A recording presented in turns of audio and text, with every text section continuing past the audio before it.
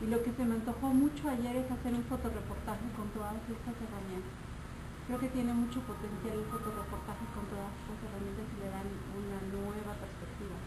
Sí, casi es un, nuevo medio de comunicación. La fotografía con sonido es otro medio, casi casi, es muy poderoso, especialmente una serie de fotos, por ejemplo, de la historia de una persona o un evento con la narración de la persona involucrada, editada, puede ser muy, muy poderoso. Ok, uh, Mike, un aprendizaje de ayer, ¿cómo vas a aplicar? El uso de manejar el audio, de bajar,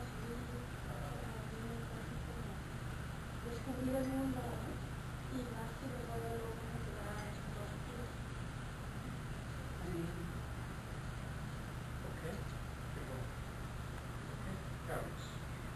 yo manejaba blog de la clase anterior, aprendí a trasladar nuevas blogs y con herramientas eh, puedo hacer que no parezca algo que no fuera muy caro, que no fuera muy y es transformar a través de Word y todas esas herramientas que como las unas muy poquitas, la puede, lo podemos transformar realmente cuando una persona entra en el sitio.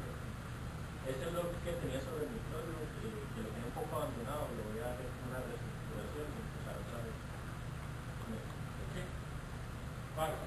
Bueno, este, pues lo que va a servir es una volverle a activar mi blog y empezar a hacer así una especie de, con, el neurólogo de mi hijo quiero empezar a hacer una entrevista para que explique la problemática de los, o sea, ya ni siquiera enfocarme al Asperger, sino a los problemas de desarrollo.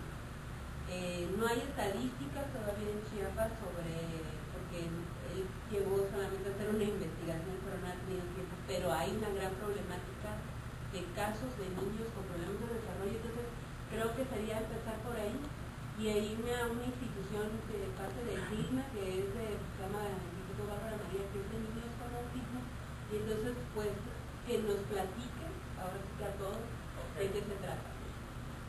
Ok, Héctor.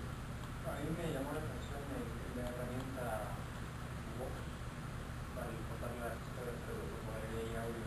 Independientemente de ello, el, el, el, aspecto de encontrar, ubicar distintas aplicaciones para subir el audio completo de, una entrevista que forma parte de un reportaje, también me parece muy interesante.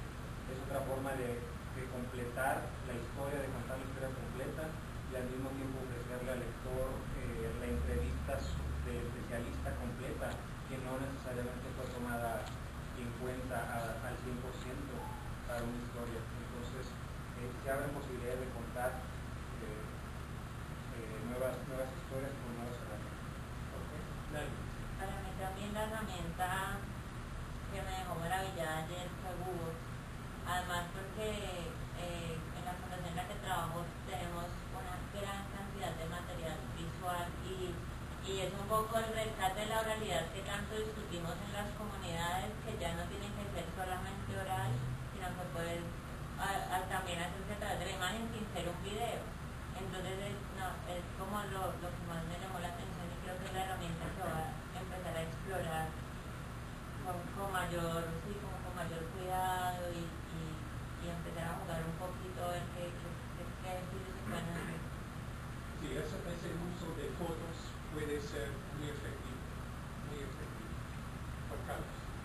Eh, una vez más, porque ya creo que el uso de Fernando me gustó mucho cómo eh, han logrado mapear las aplicaciones que hay en el mercado, muchas gratuitas como los WAP, los estándares que hay respecto al tema del video y el audio, porque la verdad es que no tenía muy claro cómo estaban organizados y marcando los de que común. Pues todo ese mundo que a veces uno recibe y usa, pero no saben por qué contexto sale y aparece. Entonces, o sea, que eso como que le permitió tener mejor, una mejor percepción respecto a qué es lo que venía haciendo ahora, por ejemplo, con el US que le que yo todos los bienes que le marcan dice que no, que el futuro marca con MP4, ¿no? Obviamente MP4 tiene una gran calidad, porque yo manejo el, el canal de YouTube de Congreso de la República y tenemos más de mil videos, yo siempre he estado subiendo todo en porque aparentemente es más, o sea, no tiene calidad y pesa menos, pero usaba ese siempre me tocó probarlo. No estaba teniendo la misma calidad, pero ya Marta, bueno, con la experiencia que ya tiene, me, me encanta. La última es que efectivamente MP4 es efectivo. Eh, y otra cosa, bueno, después las aplicaciones, lo de Audacity, la verdad que he usado Audacity para editar videos, quitar, restar, editar. Pero nunca había hecho ese mix de colocar um, el audio con el fondo musical, entradas y bajadas, de manera que eso me permite eh, enseñar a otra gente, sobre todo en provincias cuando hacer talleres por este de radio, para que su programa de radio pues se puedan hacerse caseramente, empaquetarse en USB y distribuirse en los mercados, porque ayer común que en provincias, en los mercados, eh, pues, un programa de radio en vivo, es decir, por el USB hace el programa y lanza por el mercado. Radio popular. Bueno, eso de ah, MP4 es, ah, este formato todavía no es universal, no es aceptado he tenido problemas en transferir archivos a, a otra gente. De- debí comprar un convertidor, bueno, un programa.